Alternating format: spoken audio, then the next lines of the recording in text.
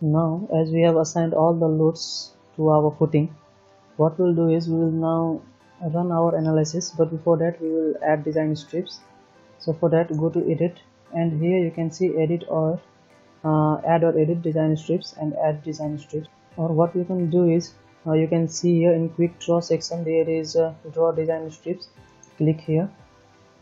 And uh, here is the strip layer A and B both here and the width are given here is so my uh, dimension is 3.2 by 3.2 so I will be doing it half and giving its width as uh, 1.6 1.6 meter 1.6 meter 1.6 meter and 1.6 meter okay? So click here and click this midpoint. Similarly we will do for um, y direction that is layer b.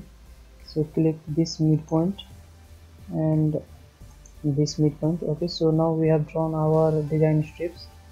Or you could have done from here also in edit design strips and add design strips. Here you can see uh, auto. And now we will run our analysis. So just go to run and run analysis. You can do from here or you can just run analysis from here also.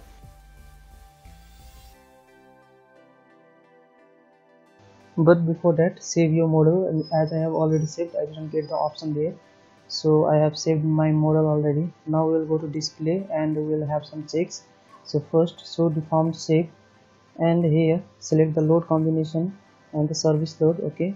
Apply and close. As you can see the deformed shape here the maximum value is uh, minus 8.94 and the minimum is minus 9.90 so ignore the negative sign and take the maximum numerical value that is 9.9 here but our allowable is 25 so it's okay.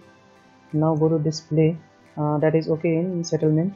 And show reaction forces in load combination service load only and here the soil pressure apply and close as you can see the maximum value is 134.23 and the minimum value is 148.63 and our allowable bearing pressure is 150 kilonewton per square meter. So it is safe in bearing capacity bearing pressure also.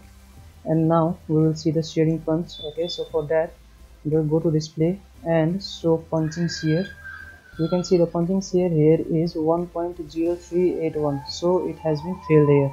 The punching shear should always be less than 1 okay. So for that what should we do now? We would uh, increase the depth of our that we should increase now the thickness of our footing. So first uh, delete the analysis and go to define. And here in slab properties uh, select the footing slab first so modify property. And here we will give the thickness as 480 okay. And for column slab also so modify property and give the property as uh, 100 sorry 480 thickness. Okay. Now again run the analysis.